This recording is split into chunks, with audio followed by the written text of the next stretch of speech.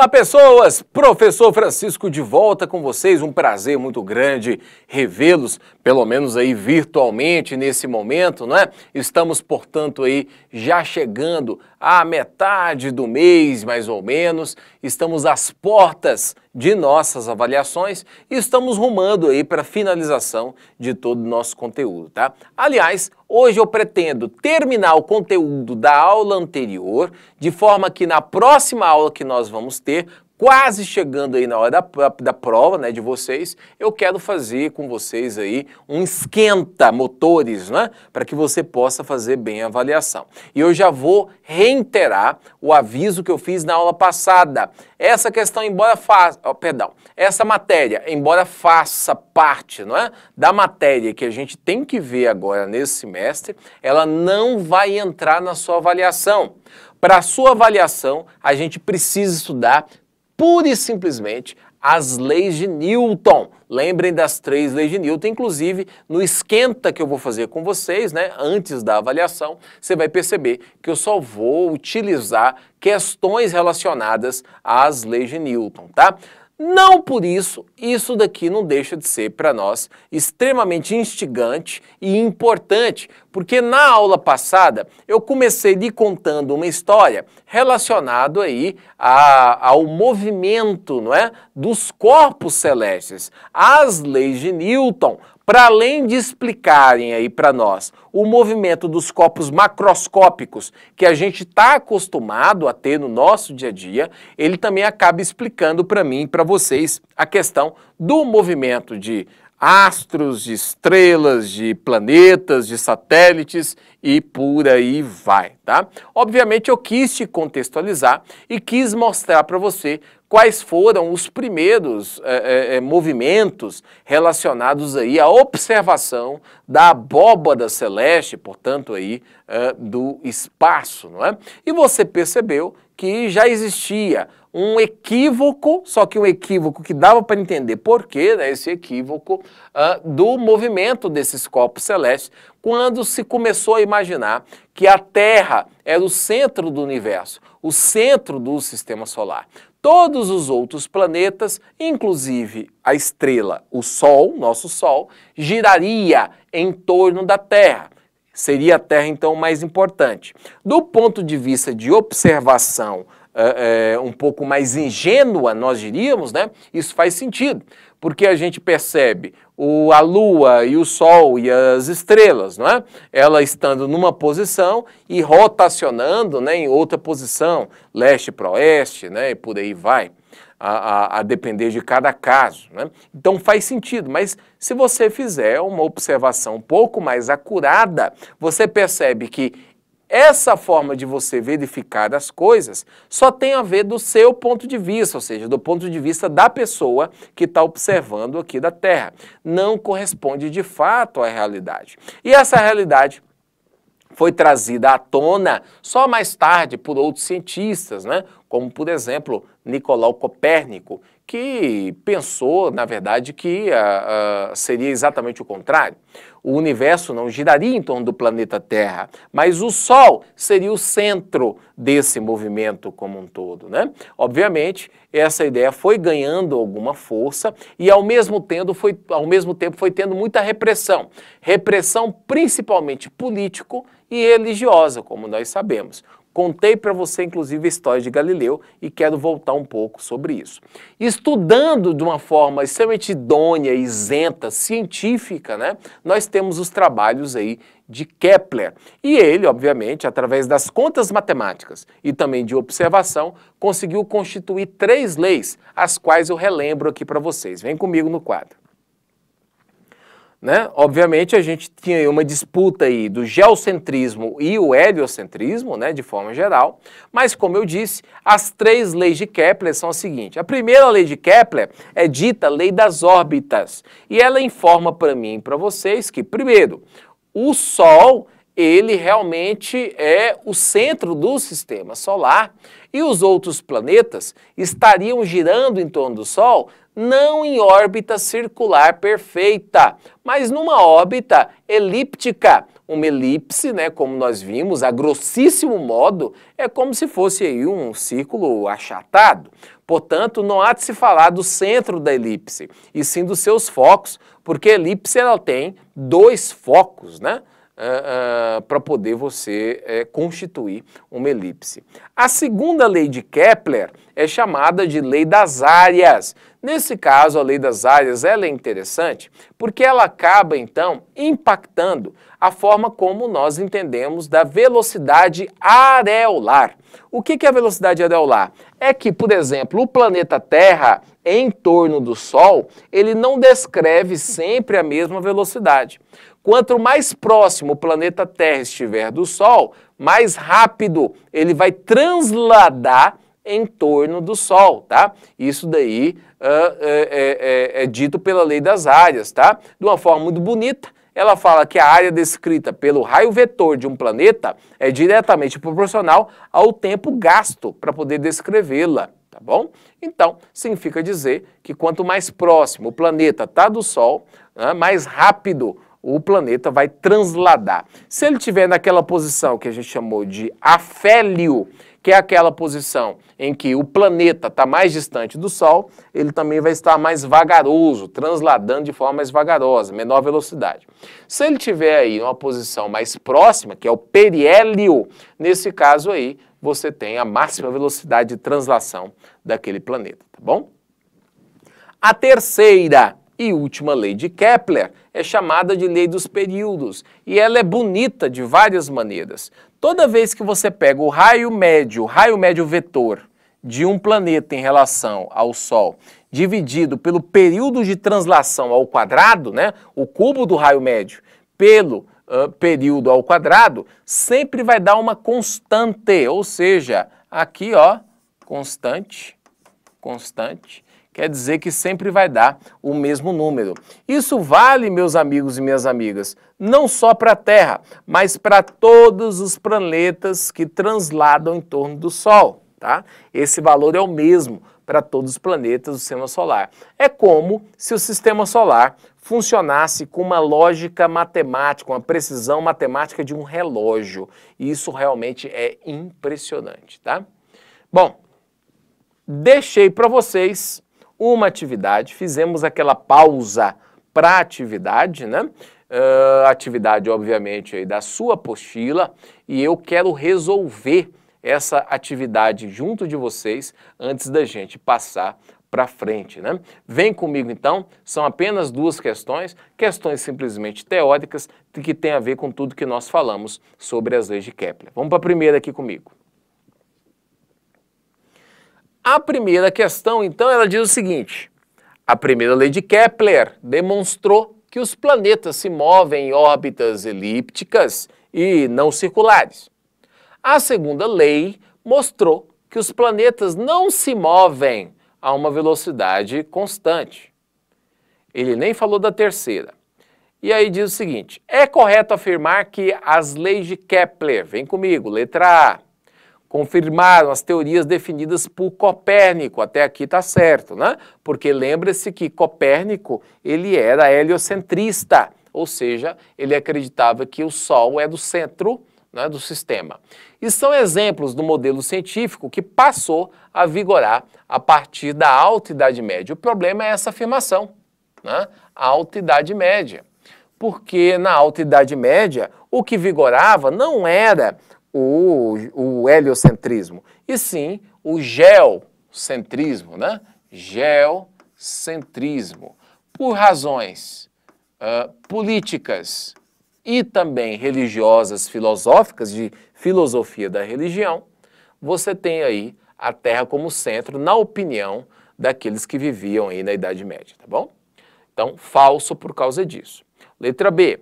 Confirmaram as teorias defendidas por Ptolomeu e permitiram a produção das cartas náuticas usadas no período do descobrimento da América. Nada a ver, tá, pessoal, com o descobrimento da, da América e por, é é é, é, é, na Idade Média, tá? Nada a ver, tá bom? Letra C. São a base do modelo planetário geocêntrico. E se tornaram as premissas científicas que vigoraram até hoje. Né? Embora existam pessoas que insistam né, que a Terra é o centro do universo ainda hoje, né? e elas insistem isso através de uma pseudociência que elas acabam trazendo para si, misturada com religião, não é o que se observa na realidade. A Terra não é o centro do universo, tá bom?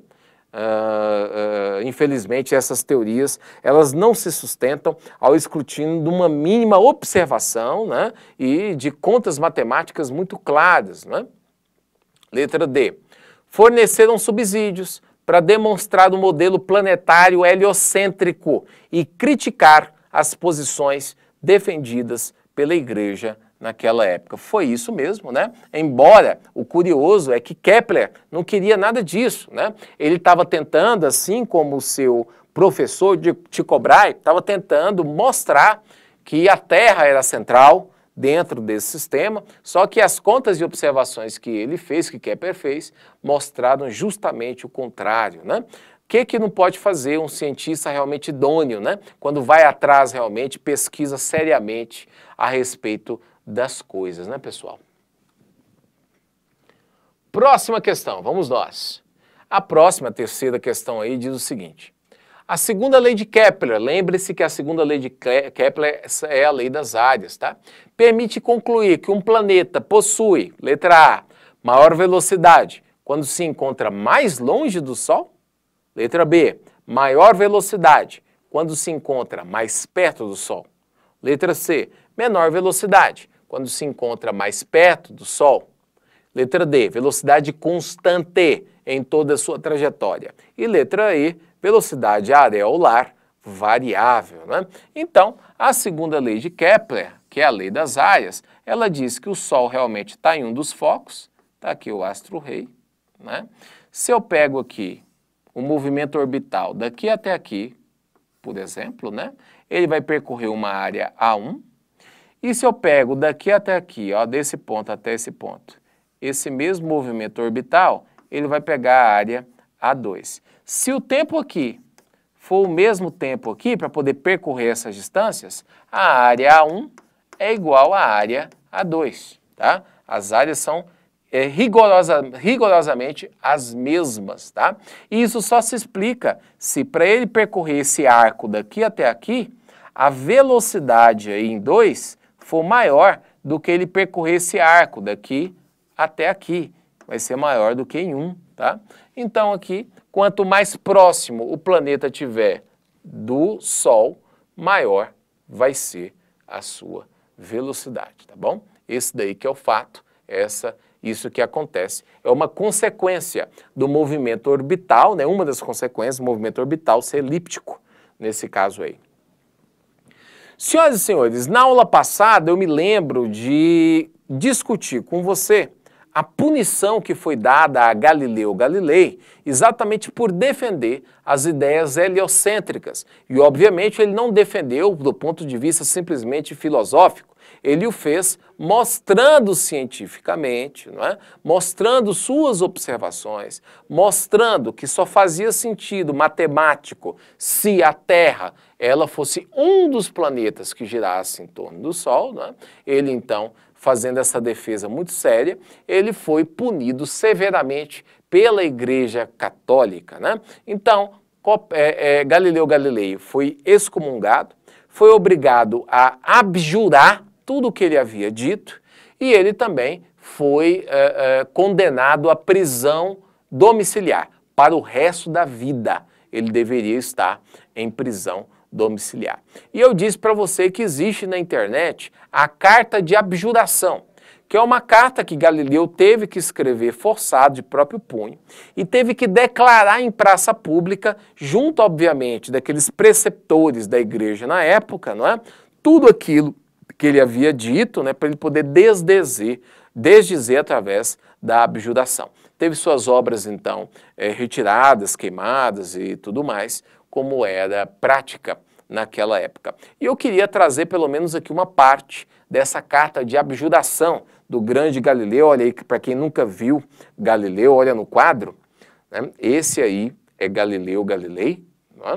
É? é a imagem mais clara que nós temos desse grande cientista. Inclusive, ele é precursor do método científico que nós usamos até hoje. Tá? E aqui nós temos a sua carta de abjuração. Eu vou tentar ler com vocês uma parte, só para vocês verem a seriedade que é uma carta como essa. Vejam, ele ditou isso daqui em praça pública. Eu, Galileu Galilei, filho do finado Vicêncio Galilei de Florença, com 70 anos de idade, né? ou seja, ele era longevo para a época, vindo pessoalmente ao julgamento e me ajoelhando diante de, de vós, eminentíssimos e reverendíssimos cardeais, inquisidores gerais da República Cristã Universal. Ele tinha que fazer isso tudo ajoelhado. Contra a corrupção herética, que ele fazia parte naquele momento, tendo diante de meus olhos os santos evangelhos, ou seja, a Bíblia estava na frente dele, tinha que jurar em frente à Bíblia, que toco com minhas próprias mãos. Juro que sempre acreditei e com o auxílio de Deus acreditarei no futuro em tudo o que a Santa Igreja Católica Apostólica de Roma sustenta, ensina e pratica. Mas como fui aconselhado por esse ofício a abandonar totalmente a falsa opinião que sustenta que o Sol é o centro do mundo e que é imóvel, e proibido de sustentar, defender ou ensinar a falsa doutrina de qualquer modo. E porque depois de saber que tal doutrina era repugnante diante das sagradas escrituras, escrevi e imprimi um livro no qual trato da mesma e condenada doutrina e acrescendo razões de grande força em apoio da mesma, sem chegar a nenhuma solução, tendo sido, portanto, suspeito de grave heresia. Ou seja, porque mantive e acreditei na opinião que diz que o Sol é o centro do mundo e está imóvel, e que a Terra não é o centro e se move, desejo retirar essa suspeição da mente de vossas eminências e de qualquer católico cristão que com razão era feita a meu respeito, e por isso, de coração e com verdadeira fé, abjuro amaldiçoo e detesto os ditos erros e heresias e, de uma maneira geral, todo erro ou conceito contrário à dita Santa Igreja. Eu juro não mais no fundo, do futuro, perdão, dizer ou asseverar qualquer coisa verbalmente ou por escrito que possa levantar suspeitas semelhantes sobre minha pessoa, mas que, se souber da existência de algum herege ou alguém suspeito de heresia, o denunciarei a esse santo ofício ou ao inquisidor do lugar onde me encontrar. Veja que fizeram dele, inclusive, um informante. Juro ainda mais e prometo que satisfarei totalmente e observarei as penitências que me forem ou me sejam ditadas pelo Santo Ofício. Mas se acontecer que eu viole qualquer das minhas promessas, juramentos e protestos, e que Deus me defenda que isso aconteça, sujeito-me a todos os castigos que forem decretados e promulgados pelos cânones sagrados e outras determinações particulares e gerais contra crimes deste tipo. Assim que Deus me ajude, bem como os santos evangelhos, os quais toco com as mãos. E eu, o acima chamado Galileu Galilei, abjuro, juro, prometo, e me curvo como declarei. E em testemunho do mesmo, com minhas próprias mãos, subscrevi a presente abjuração, que recitei palavra por palavra. Então vejam, senhoras e senhores, que no mínimo é vexatório para um cientista como ele não é, fazer dessa maneira, mas ele teve que fazer, caso contrário, ele poderia ter a vida tirada.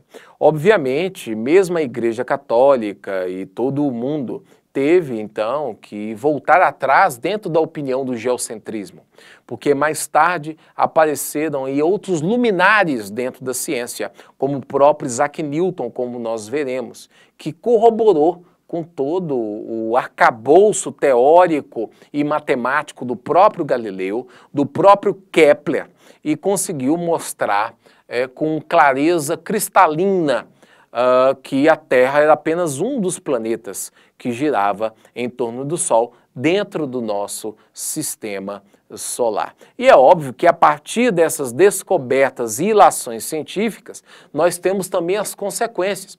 E consequências para as nossas vidas. Vejam vocês que modernamente nós temos aí o aparecimento dos GPS.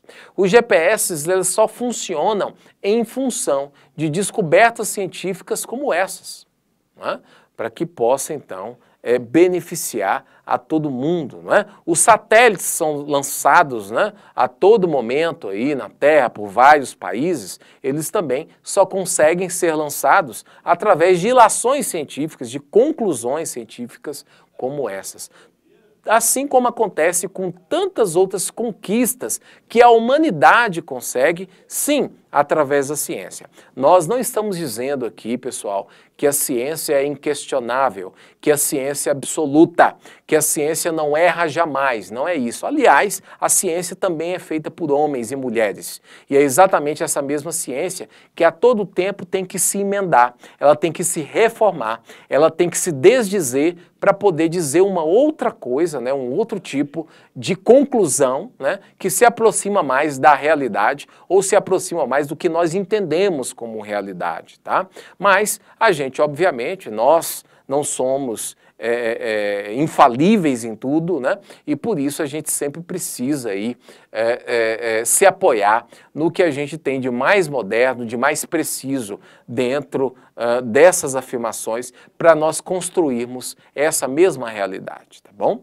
Bom, é isso, tá? Eu não estou dizendo nada disso para criticar essa ou aquela religião, eu, particularmente, professor Francisco, acho as religiões extremamente importantes para a humanidade, tá? Porque eu imagino que eu e vocês não somos apenas esses seres materiais, esses seres simplesmente racionais. Nós temos sentimentos, nós temos emoções. E as nossas religiões nos auxiliam com esses sentimentos e emoções, tá bom? Sem dúvida nenhuma. Mas que naquele momento existia uma perseguição, existia um equívoco da religião que dominava na época, sim, existia realmente um equívoco, né? Equívoco esse que foi, inclusive, né, é, é, admitido mais tarde pela mesma, uh, mesma igreja, tá? Numa forma de humildade, inclusive, embora tardia, mas aconteceu, né? E percebeu o equívoco tá bom?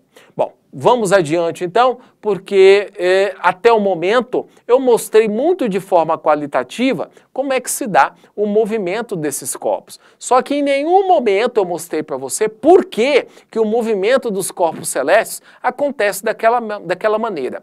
Quem se incumbiu desse trabalho, quem conseguiu resolver essa questão, foi exatamente o Sir Isaac Newton. Além de nos dar as leis de Newton, ele também desvendou cientificamente o movimento dos corpos celestes do universo. E vocês vão ver como. Vem comigo. Então, olha só. Nós sabemos, não é, daquele fascínio que todos nós sentimos quase que naturalmente quando nós vimos aí um céu estrelado, né? Observe, eu tenho certeza, vocês aí, dependendo de onde vocês estão, vocês têm aí uh, o que eu posso dizer, o privilégio de ver um céu com muito mais estrelas do que os céus aqui de Goiânia, que é uma cidade que é muito iluminada, tem uma poluição luminosa muito grande e também uma poluição atmosférica muito maior do que da cidade de vocês. Além de ser muito belo, muito inspirador, ele é também, obviamente, aí para nós, né, é, fonte de muita pesquisa, né? Falando em inspiração, Gosto muito, viu, desse poema de Olavo Bilac, que dizia o seguinte, ó, o tema dele é Ouvir Estrelas. Ora, direis, ouvir estrelas, certo perdeste o senso.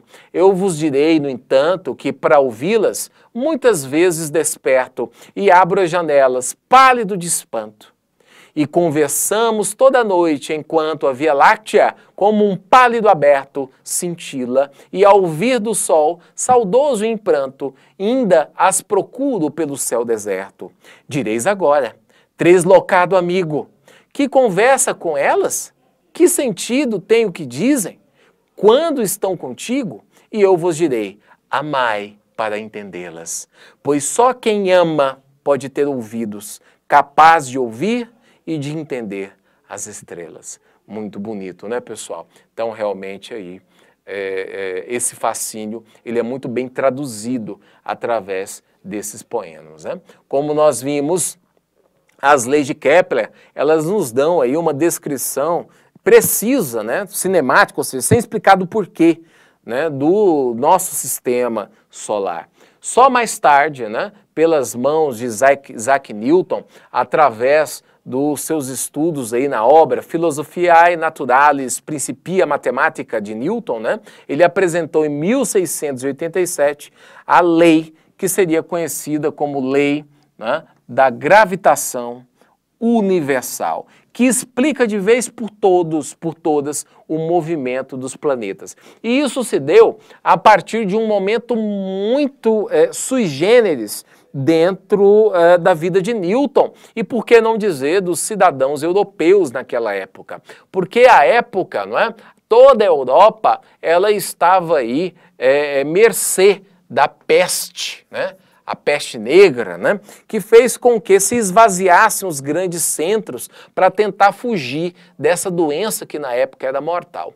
O próprio Isaac Newton fugiu, né, para uma localidade aí de parentes dele, mas mais no interior, né? E ele, obviamente, não ficou parado. Ele começou a estudar várias coisas relacionadas ao comportamento da luz, ao movimento dos corpos na Terra e também ao movimento dos corpos celestes, tá? É aqui, inclusive, que tem aquela imagem, né, que ficou pitoresca do, da maçã caindo na cabeça de Galileu. Né? Imagina-se então que Galileu teve essa sacada quando estava aí estudando né, é, abaixo de uma macieira, de um pomar, quem sabe? Né? E aí ele teve uma sacada. Obviamente, essa sacada não veio do nada. Ela veio dos escritos já de Kepler, dos trabalhos também de Galileu, né? E também de outros é, é, pesquisadores na época, né? Como, por exemplo, Robert Hooke, né? Que é, é, ele insistia né, com essas ideias, assim como Edmund Halley. Né? eles é, tinham essas ideias aí que auxiliaram dentro da compreensão de Newton a respeito do que ele haveria de concluir. O que que Newton concluiu? Vamos lá. Veja, durante esse ano, ó, essas são palavras do Newton no livro, tá? Comecei a estender a ideia de gravidade à órbita da Lua e fiz uma comparação entre a força que era necessária para manter esse astro na órbita e as forças de gravidade que agiam na superfície da Terra. Deduzi que as forças que mantêm os planetas em suas órbitas estão na razão recíproca do quadrado das distâncias aos centros do qual orbitam e assim comparei a força necessária para manter a Lua na sua órbita com a força da gravidade na superfície da Terra.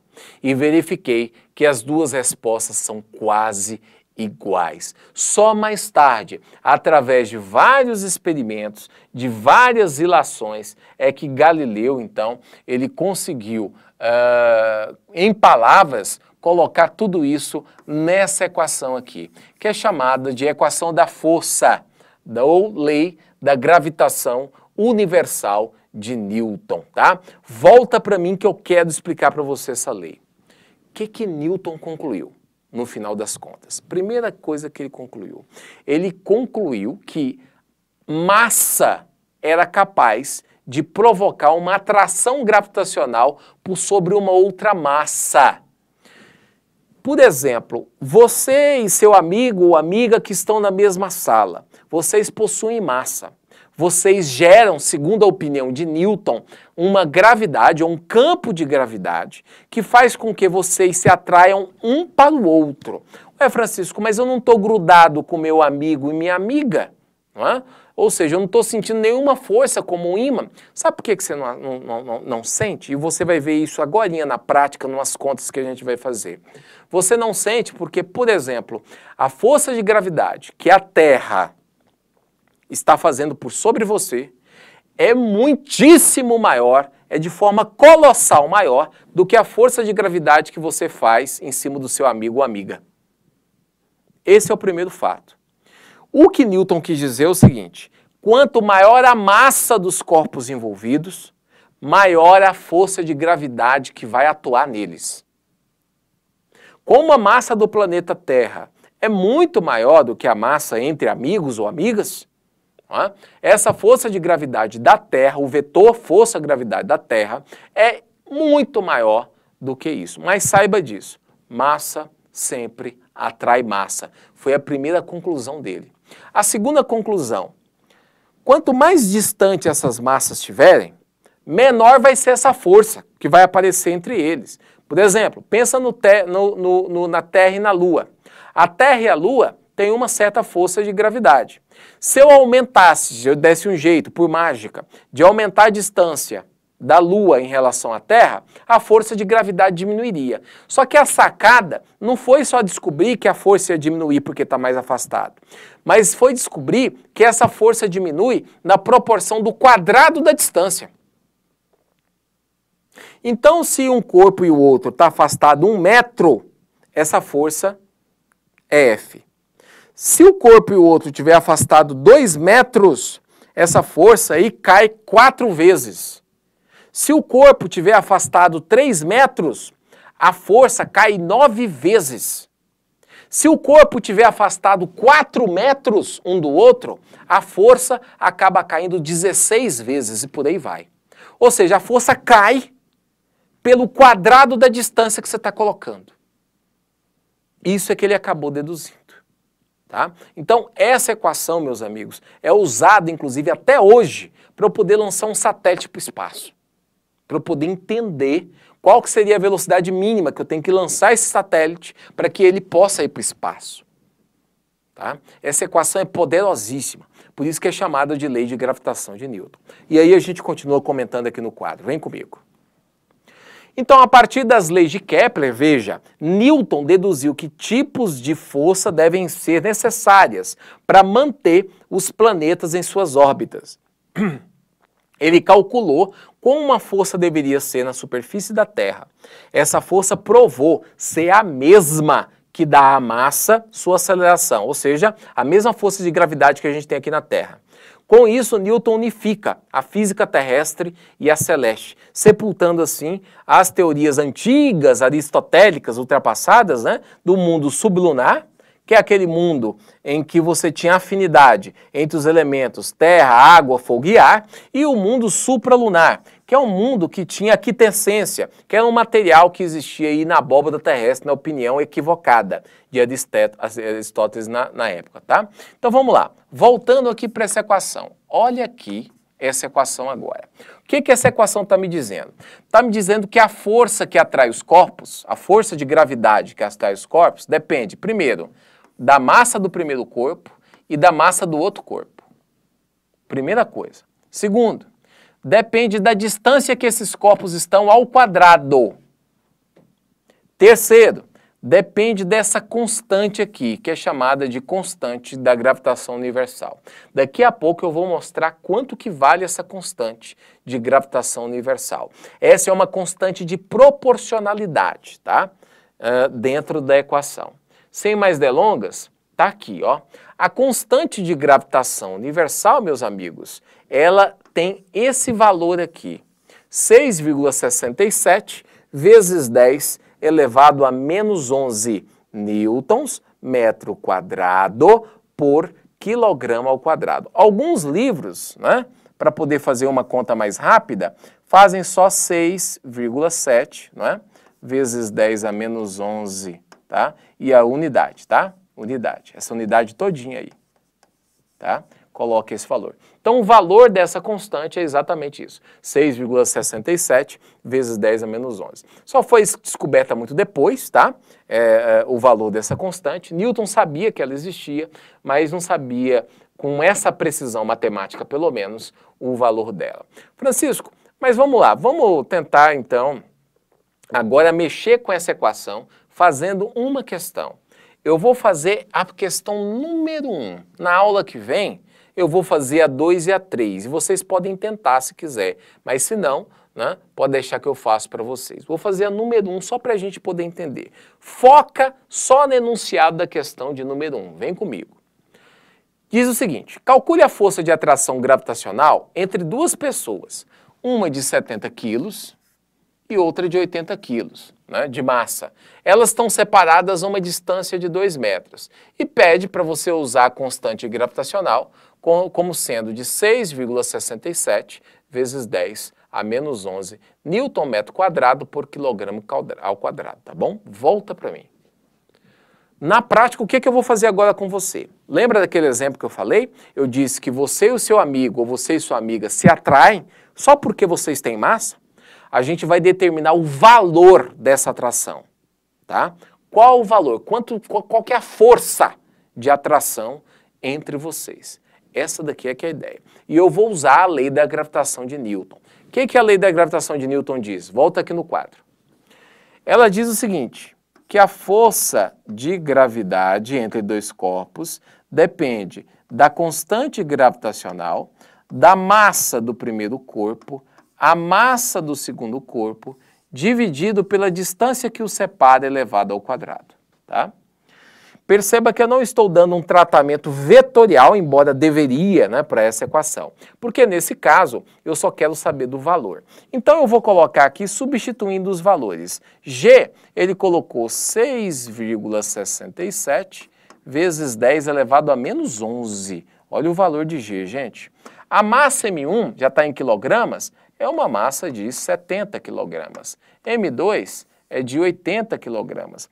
Dividido tudo isso pela distância ao quadrado, que é 2 elevado ao quadrado.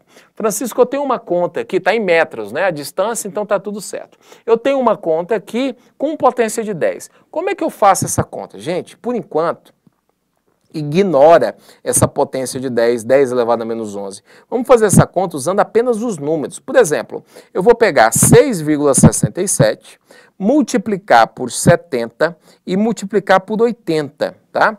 Quando eu faço isso, multipliquei só os números em cima, vai dar aqui para mim 37.352 vezes 10 a menos 11, que eu não mexi, dividido por 2 ao quadrado. Gente, 2 ao quadrado é 4. Não é? Então a força de gravidade entre essas duas pessoas, né? Eu tenho que dividir esse 3.000 perdão, 37.352 dividido por 4. Isso daqui está dando 9, não é? 9.338 vezes 10 a menos 11 newtons. Francisco, quanto que é isso em número sem ser notação científica? Pessoal, para eu fazer esse número aqui, ó, e não colocar ele em notação científica, eu tenho que passar a vírgula desse número aqui 11 vezes para a esquerda. 11 vezes. Então vai ficar 1, 2, 3, né? Então vai ficar 1, 2, 3, 4, 5, 6, 7, 8, 9. Uh, aí vem 9, 3, 3, 8. Deixa eu ver se eu fiz certo, né? 1, 2, 3, 4, 5, 6, 7, 8, 9, 10, 11. Errei aqui, deixa eu mudar, né? Apagar aqui a borracha. Eu acho que vai até aqui, né? Eu estou transformando ele em número normal, né? que você, sem ser potência de 10. 1, 2, 3, 4, 5, 6, 7, 8, 9, 10, 11. Pronto. Essa é a força entre você e seu colega, caso a sua massa seja de 70 e seu colega seja de 80 e vice-versa. Você imagina uma força tão pequena como essa? 0,000009338 newtons. Esse é o valor da força. Por isso que você não sente a força de gravidade que vocês dois estão produzindo. Ela é imperceptível para nós, seres humanos, de tão pequena que é. Por outro lado, eu consigo perceber com muita clareza a força de gravidade que a Terra faz em mim. Porque naquele cálculo lá, exatamente o mesmo, ao invés de eu colocar a massa do meu amigo, eu vou colocar a massa do planeta Terra. E a massa do planeta Terra é imensa, é muito maior. E aí, quando eu faço a conta, eu sei exatamente, vai dar o valor da força de gravidade, que vai dar aproximadamente aí, né, é, é, é, a depender da sua massa, né, vai dar aí, sei lá, se você tiver uma massa de 70 quilos, vai dar 700 newtons, por exemplo, aproximadamente isso. Tá? Então esse daí é uma das funcionalidades e eu quero te mostrar outra sobre a lei de gravitação. Tá? Isso vai acontecer nas próximas aulas depois da prova, quando a gente for resolver essas outras questões. Por enquanto, o professor Francisco vai ficar por aqui, como sendo te agradecendo bastante por sua paciência, por nos acompanhar. Se você for capaz, faça as outras duas questões. Eu garanto que eu vou voltar nelas porque é muito interessante. Obrigado por nos acompanhar. Naquela certeza, eu e vocês nos vemos logo. Tchau, tchau. Até mais, pessoal.